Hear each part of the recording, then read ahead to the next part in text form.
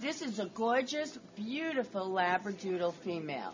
And she is the cuddly, most, is a great personality. We just got her in and she rolls on her back and she, all she wants to do is be scratched.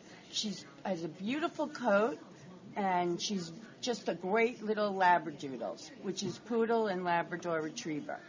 And here, she wants to go on her back again. Oh, oh, say hello, everybody. Hello, how pretty she is? She even speaks.